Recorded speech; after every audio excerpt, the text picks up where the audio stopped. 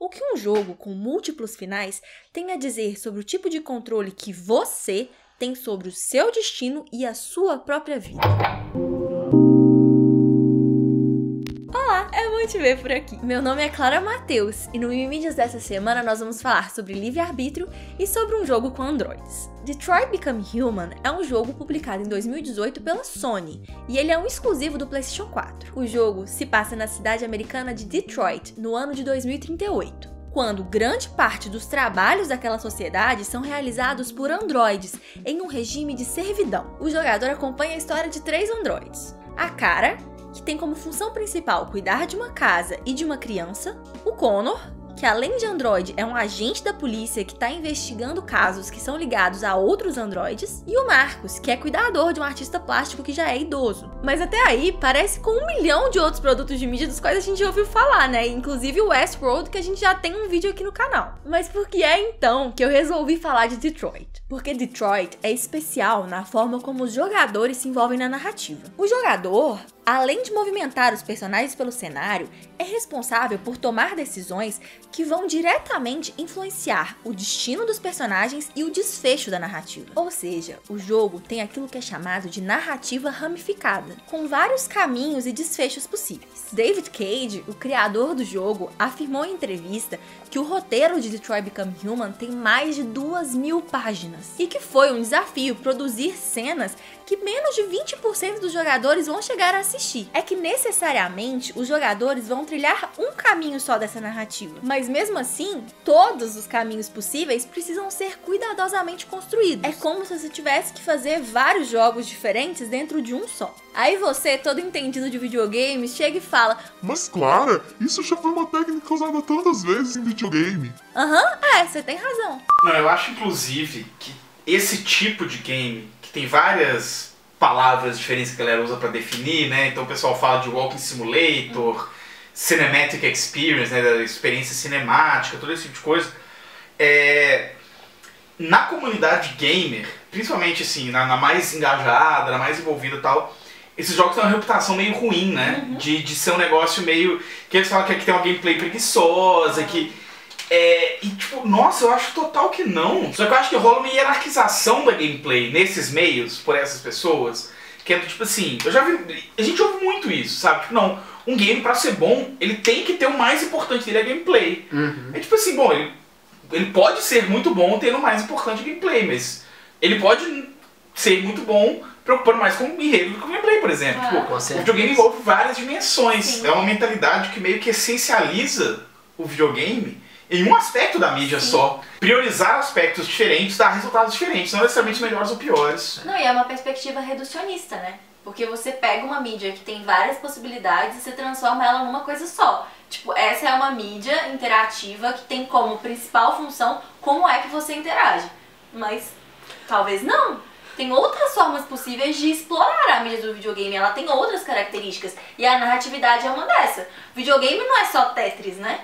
Não, não é outra, é só sobre a forma e, como e, e outra joga. coisa, assim, quando você explora esses novos caminhos, assim, essas diferenças, você explora justamente os limites da mídia. Sim. Explorando os limites da mídia, o que você está fazendo? Você está avançando aquela linguagem. Sim. Então pode ser até que você não goste tanto desse viés mais bem narrativo. Mas esse viés bem narrativo avança o seu jogo daqui a 5 anos, que hoje você acha ele do caramba, e ele só vai ser possível porque hoje teve esses outros, né?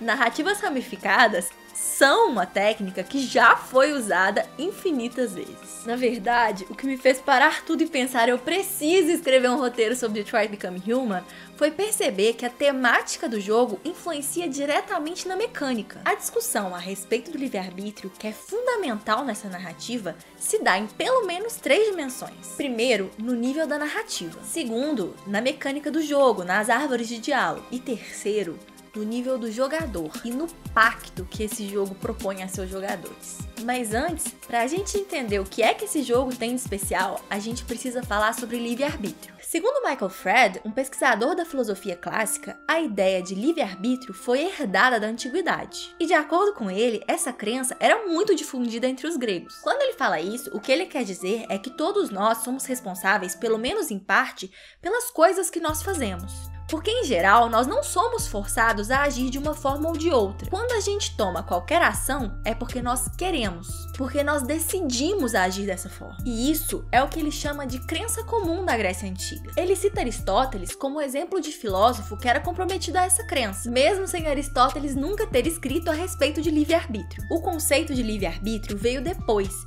e ele é um pouco mais complexo do que essa ideia comum da Grécia Antiga. Mas não é tão complexo assim. A gente só precisa entender o que é que os conceitos de liberdade e de arbítrio significam.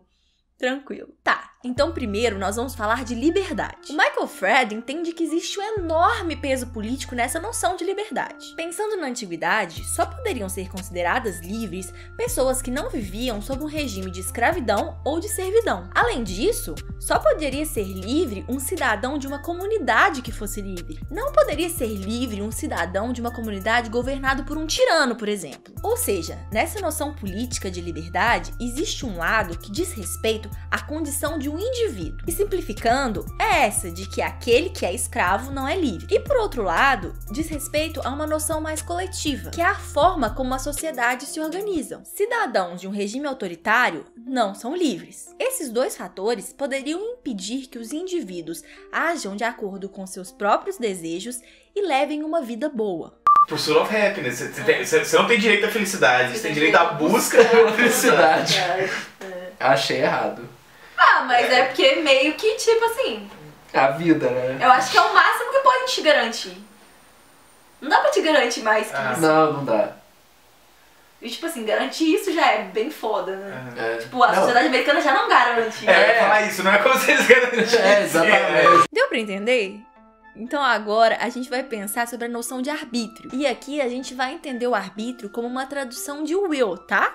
Não é como esse termo jurídico de arbítrio, de arbitrário. Ou seja, não com o sentido de uma sentença judicial, mas sim como vontade. O Fred vai dizer que ao menos que uma pessoa seja literalmente forçada a fazer alguma coisa, as ações de alguém são resultados de um processo mental dessa pessoa. E esses processos mentais a fazem agir dessa forma. Ou seja, uma pessoa que está com vontade de comer, ela pode decidir conscientemente se ela vai comer ou não. Alguém pode não estar com vontade de comer e mesmo assim decidir comer porque acha, por algum motivo, que essa é a melhor coisa a ser feita, independente de qualquer coisa.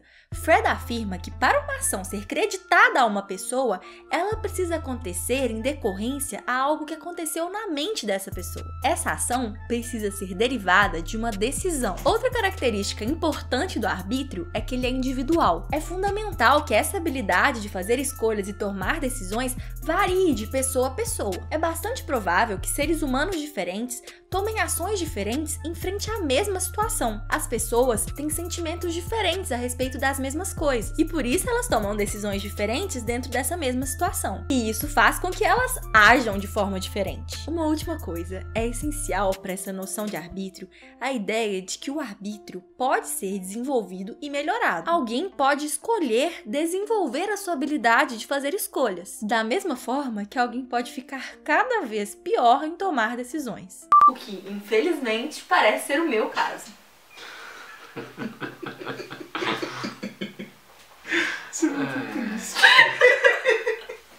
Eu acho engraçado. Quer pensar no ciclo vicioso, né? Nunca melhora. Cada vez eu tô Se vivendo. tornar cada vez pior em tomar decisões. Você sabe os seus erros de- da adolescência? Que você achava muito ruins, não. Aí você de hoje são piores. Aos 40 anos você vai estar começando uma guerra nuclear. Sem querer, sem querer. Não por querer, né? Por querer. talvez, se aos 20 e poucos eu resolvi criar um canal no YouTube, o que pode vir depois, né? Como que eu posso piorar O, o quão baixo você pode chegar? Ai, ai. Agora que a gente já esmiuçou as noções de liberdade e de arbítrio, a gente pode tentar entender o que é que livre-arbítrio significa, já que esse conceito é uma combinação de liberdade com arbítrio, obviamente. O livre-arbítrio, então, seria uma liberdade de tomar decisões e fazer escolhas, tendo a possibilidade de buscar por uma vida boa, entendendo que as nossas ações são motivadas pelas nossas próprias escolhas e decisões. Agora vamos voltar para Detroit e entender por que é que a gente está falando de livre-arbítrio e se esse jogo que passa em 2038, cheio de androids, realmente tem algo de especial. É, não, eu acho engraçado assim, né, que eles apostam no desenvolvimento nosso muito otimista, né? Daqui a 20 anos, Android andando na rua, tudo mais, achei ousado. Então, o David Cage, ele é, tipo assim, muito nerdão. Tipo, ah, tô fazendo as coisas certas, blá blá blá. Então, tipo assim, o mundo, tirando os androids, é, não é exatamente futurista, entendeu? Uhum. É futurista, mas não é impossível de acreditar, sabe? Assim, Entendo. que aconteceu uma coisa que, que caminhou pra esse lado. Uma definição muito de livro didático de ficção científica, que eu acho que é do Darko Suvin, que é tipo um dos melhores caras, um dos principais caras, na verdade, a teoria da ficção científica.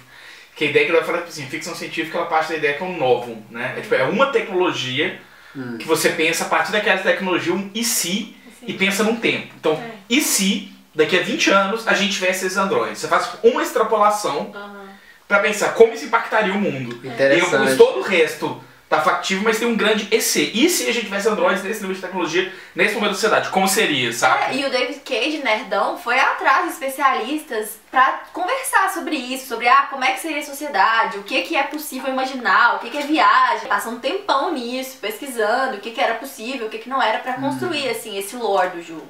E, e essa questão do Android, de fazer um robô humanoide, eu sinto que existe um meio que um fetiche muito grande nos seres humanos em construir isso. Sabia que tem um robô que é reconhecida como cidadã em algumas, alguns países? Uma robô? Uma robô. Pensando que 20 anos atrás celular eram como eles eram, imagina essa robô em 20 anos. É, sei lá.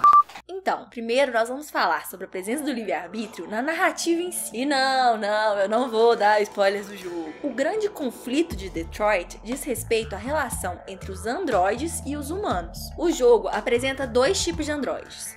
Os que fazem parte da sociedade humana e estão perfeito funcionamento, e os chamados de divergentes. Os androides foram criados para servir aos humanos. Eles são servos, são privados de liberdade. Suas ações não são consequências das suas tomadas de decisões ou de suas próprias escolhas. Os androides não pensam por si mesmos. Eles não são nem capazes de formar opiniões. Ou seja, os androides essencialmente não possuem livre-arbítrio. Já os outros androides, os divergentes, são aqueles que não obedecem aos humanos. Eles escolhem não se submeter às ordens de seus senhores e tomam ações que são derivadas dos seus próprios processos mentais. O livre-arbítrio, ou a falta dele, é parte fundamental dessa narrativa. Essa narrativa simplesmente não se sustenta se a gente arrancar dela essa discussão a respeito do valor da liberdade e do arbítrio. Acontece que essa temática não fica restrita ao nível da narrativa. A mecânica de Detroit Become Human também dialoga com essa discussão a respeito do livre-arbítrio. Como eu já disse no começo do vídeo, o jogador é responsável por tomar decisões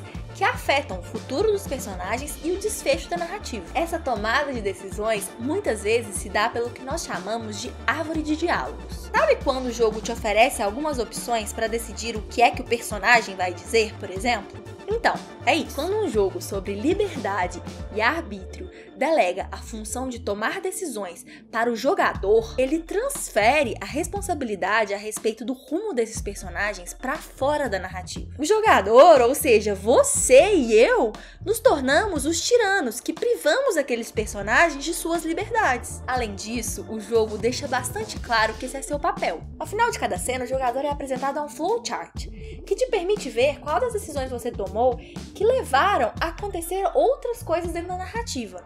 Além disso, ele mostra quais ramificações não foram exploradas. Quantos por cento dos jogadores do mundo tomaram as mesmas decisões que você? O jogo te dá essa informação. E ele permite que você entenda o quão exclusivo foi ou não o desfecho que você assistiu. O quão particularmente tirano você é ou não. E por fim, existe o pacto. Desde o início do jogo, as suas decisões podem ter consequências drásticas. Dependendo do que você escolher fazer, os personagens podem simplesmente morrer. Existe a opção de voltar atrás e tentar corrigir qualquer burrada. Só que se você tentar fazer isso antes de terminar a narrativa, um androide do jogo vai te aconselhar a não fazer isso a não mudar nenhuma das decisões que você tomou, não importa o que acontecer, antes de chegar até o desfecho final. Você entendeu? Não é como se o jogo te proibisse de fazer isso. Você pode fazer se quiser, mas o jogo te aconselha a não fazer. Enquanto você joga Detroit, você pode acabar perdendo um personagem com o qual você se importava muito. E cabe a você obedecer a instrução que você recebeu, como um androide em pleno funcionamento faria, ou desobedecer, como um divergente faria. Você tem o livre-arbítrio, você tem a liberdade, fora da narrativa, de aceitar o pacto ou seguir de acordo com suas próprias decisões. Essa é uma escolha que você precisa fazer. Detroit Become Human não é um jogo perfeito, não é nem mesmo um consenso dentro da crítica de games, mas é indiscutível que Detroit Become Human trata a questão da liberdade e o arbítrio de forma primorosa. E o que faz Detroit um jogo primoroso nesse sentido não é a importância que o valor da liberdade tem dentro de sua narrativa, e sim a forma como Detroit comunica para os seus jogadores qual é a importância do livre-arbítrio. O sentimento que existe por trás da habilidade humana de fazer escolhas e tomar decisões. Você gostou do vídeo? Você se sente responsável pelas suas escolhas e pelas suas decisões? Vamos conversar um pouco sobre isso nos comentários. Agora, falando um pouquinho mais sério, cabe a você decidir o futuro do Mil Mídias. Nossos vídeos só são possíveis por causa da nossa campanha de financiamento coletivo no Catarse. Tá vendo esse link aqui? Clicando nele, você vai para nossa campanha de financiamento coletivo. E pode ter certeza que 5 reais fazem toda a diferença pra gente. Mas o livre-arbítrio é todo seu. Até a próxima!